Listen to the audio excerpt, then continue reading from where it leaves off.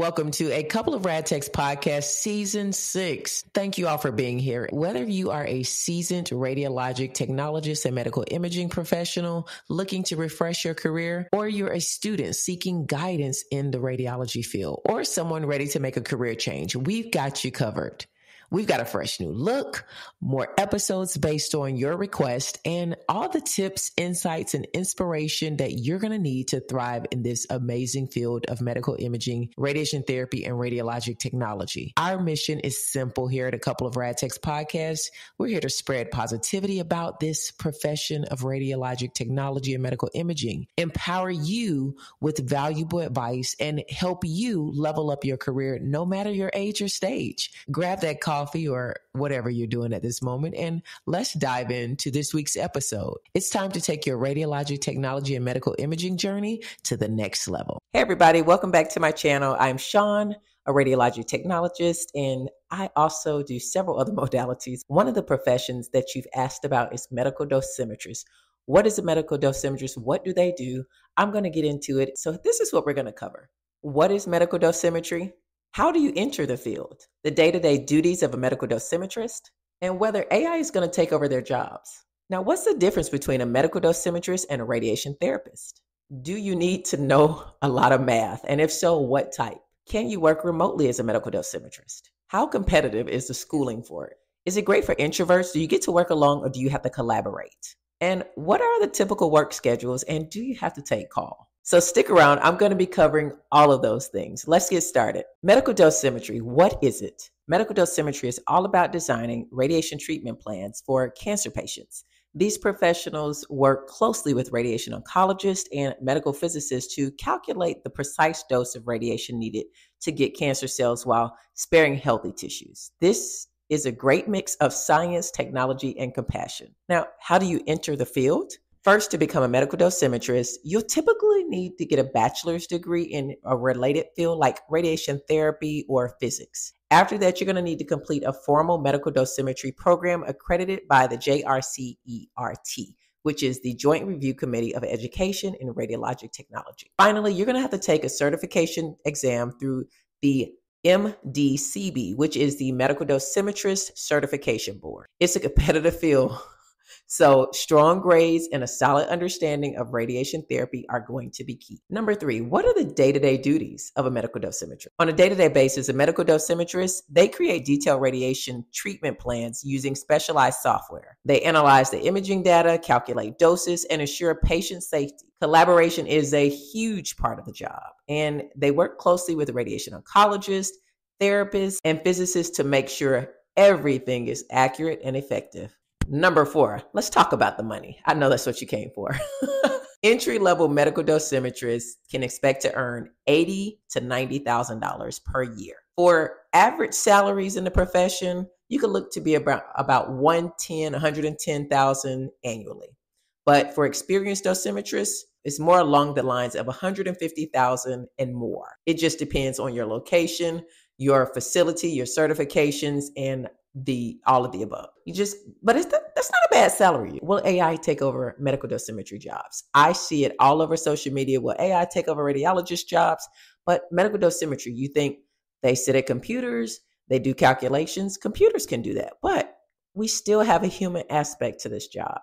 So the question on everyone's mind is Will AI take over? While AI is being integrated into treatment planning systems, is there to assist in the calculations. So it's unlikely, we can't say for sure on anything, but it's unlikely that it would truly and fully replace medical dosimetrists anytime soon. The human element to interpreting patient needs, collaborating with the care team, and adapting plans to unique cases is something AI cannot do. Certain things robots and computers just can't do. You need a human on certain things. So, okay, and who would not want a human checking behind computers. Are medical dosimetrists the same as radiation therapists? That's a great question. No, pretty much no. But let me explain to you why. They both work in radiation oncology, but their roles are different. Radiation therapists deliver the radiation treatments to patients, so they are more patient direct, whereas medical dosimetrists, they design the plans for the therapist, radiation therapist to follow. Both play crucial roles. One is not here and one is not there. They are co workers in radiation co- oncology with two different roles, but each is needed. Each is needed because they require different training and different expertise. Number six, do you have to be strong in math? That's a great question. And what math do you have to be strong in? so, math is going to be a big part of medical dosimetry. You may ask why. You need to have a solid grasp on algebra, geometry, physics principles because they're going to help you calculate the doses, the angles that you're going to need to ensure accuracy of these treatment plans. Don't worry, you will get plenty of practice. That's why you go to school and get training, hands on training, didactic training. But many of you have never seen radiation therapy. I rotated for a long time through radiation therapy. And that's where years ago I learned what a medical dosimetrist was. I know some people say it's new, it's not new. They've been around for a very long time, a very strong profession that is very knowledgeable and they're part of medical imaging. So when I hear people say it's this new secret profession of medical imagery, it's not. I've been doing it for 22 years. It's been around for as long as I've been in school and longer. And there are people in that profession of medical imaging that have a lot of experience, and some do not have a radiologic technology background. Uh, they have, and some don't have a radiation therapy background. Some went through biology major and decided, or a physics major and decided to go into medical dosimetry. There are different pathways into this program, into into this career. And many have been doing it for very many years. It has been around for a very, very long time and it has grown uh, exponentially. It, it's just amazing after 22 years to see how far medical dosimetrists has medical dosimetry has come along. And during radiation therapy training, when I was going through school, like I said, I rotated through, you get to see how each tumor, even if it's a tumor in the neck, every patient's treatment plan is going to be different. It's going to be based off of where that tumor is. It's going to, so your angles have to be correct. If a patient gains weight, if that tumor shrinks, they need to change the angulations and they've got to get it right because you're not hitting just the tumor, you're hitting the tumor cells. This is so precise, you guys. You can't get in there and just I'm close. Imagine that that's you on a table. This job is that important. Like, seriously. As someone who's has several members of my family go through radiation treatment, it's serious. It's very serious and it's personal. I love the profession of medical imaging. It's personally touched me and it's touched my family. So I appreciate the medical dosimetrists that are out there. And chime in in the comments if you've ever heard of medical dosimetrists or ever thought about going to school for one or had the experience to have a, a, a, radiation treatment plan for a family member or not. I just shared mine. I would love for y'all to share yours. Can you work remotely? Great question. You guys are coming with excellent questions. Everybody wants to work from home. But guess what? This is a medical job where you can work from home. But before you get too excited, but you got to get the experience first before you can work remotely. No company is going to trust you straight out of medical dosimetry school working remotely. you got to get in there and get the experience, work around experienced technologists and physicists, and be able to learn how to calculate and do those things and think on your feet and create plans without someone being there to watch you or check over you or help you out. It takes time. So don't go into the field expecting, I'm going to go for a remote job right when I graduate. No, it's going to take time. You're going to need to get in there. And also depends on who you work for. Are you looking for an easy way to incorporate more fruits and vegetables into your diet? Look no further than Juice Plus. Juice Plus offers a convenient solution to help you eat more plant based foods every day. Their fruit and vegetable capsules contain a blend of plant powders that provide essential nutrients, vitamins, and antioxidants from 30 different fruits, vegetables, and berries. Whether you're a busy professional, a student on the go, or simply looking to make healthier choices, Juice Plus can help you get the daily nutrients you need to feel your best. And the best part is get this Juice Plus is backed by extensive research, including numerous clinical studies that show the benefits of their products. Plus, they're committed to sustainability and use only the highest quality ingredients. So, if you're ready to start eating more plants without the hassle of chopping and cooking, give Juice Plus a try. And if you place your order through my personal link in the description, you're going to receive five tart cherry complete energy bars as a thank you. So go ahead and order your fruit and vegetable capsules today. Now let's get back to our regularly scheduled program. Not all facilities, if you look for jobs in medical dosimetry, there are some that say we need you on site. This will be an on site job.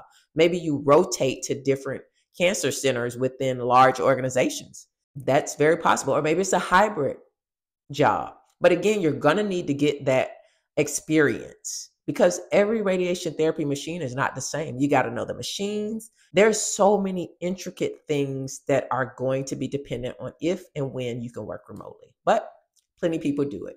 So get that experience, get in school, get that experience, and then go work remotely if you want to.